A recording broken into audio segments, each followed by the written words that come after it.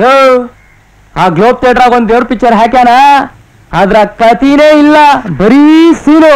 ಅದ್ರಾಗ ಒಬ್ಬಾಕಿ ಹೀರೋಯಿನ್ ಮಾಡ್ಯಾಳ. ಇವಂತೂ ಇನ್ನೊಮ್ಮೆ ಹೋಗ ನಡಿ ಅಂತ ಕುಂತಾನ. ನಿಂಗೆ ಗೊತ್ತಾಯ್ತು ಅಲ್ಲಿ ಅಂತದ್ದೇ ಸಿನಿಮಾ ಇದೆ ಅಂತ. ಇವ ಒಬ್ಬ. ಆ ಕೋಟಿ ಹತ್ರ ಹೋಗ್ತೀವಲ್ಲಮ್ಮ, ಅಲ್ಲೊಂದು ಪೋಸ್ಟ್ ಅನ್ಸ್ಯಾರ. ಆ ಪೋಸ್ಟ್ ನೋಡಿ ನಾನ್ ಸುಸ್ತಾಗೋದಿ ಈ ಪೋಸ್ಟರ್ ಹಿಂಗಿರ್ಬೇಕಾದ್ರ, ಇನ್ ಸಿನಿಮಾ ಹೆಂಗಿರ್ಬೋದು ಅಂತ ನೋಡೋಣ ಅಂತ ಹೋದ್ವಿ. ವಾಹ್ ನನ್ನ ಲೈಫಲ್ಲೇ ಅಂತ ಸಿನಿಮಾ ನೋಡಿರ್ಲಮ್ಮ. ಇದೇ ಫಸ್ಟ್ ಟೈಮು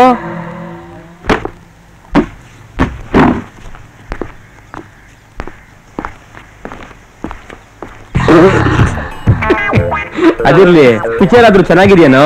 ಅಯ್ಯೋ ಅದ್ ಯಾವ್ದು ಎಪ್ಪತ್ತನೇ ಇಸ್ವಿ ಜಿತೇಂದ್ರ ಸಿನಿಮಾಲೇ ಅದ. ನಾನು ಮಗ ಮುಗ್ದ ಇವತ್ತು.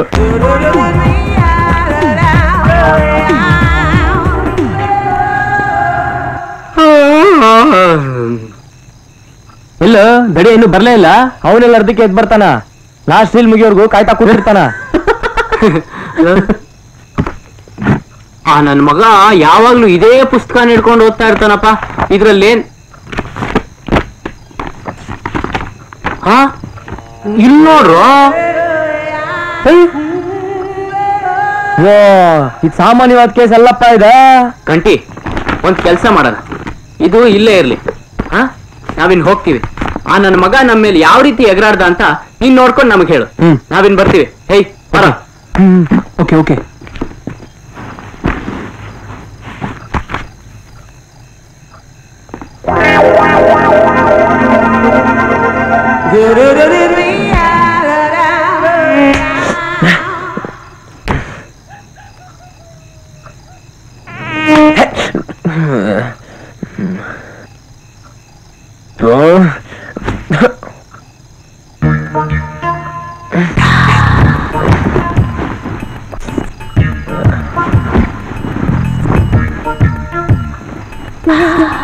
Yeah.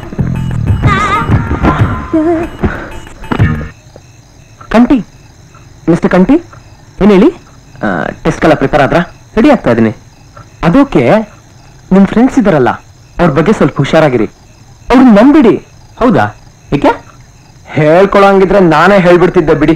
ಯಾಕೆಂದ್ರೆ ನಾನು ಇನ್ನೊಬ್ರ ಮೇಲೆ ತಪ್ಪು ಹೊರ್ಸಕ್ ಇಷ್ಟಪಡಲ್ಲ. ಆದ್ರೆ ನೀವು ನಂತರ ಸಫರ್ ಆಗ್ಬಾರ್ದು ನೋಡಿ. ಅದಕ್ಕೆ ಹೇಳ್ತಾ ಇದ್ದೀನಿ ಬೇರೆ ರಾಸ್ಕಲ್ಸ್ ಐಸೆ ಅವ್ರು ನನ್ನನ್ನೇ ಅಂತ ಫುಲ್ ಬೇಡ ಬಿಡಿ ಇವಾಗ ಯಾಕದಲ್ಲ good night good night, good night.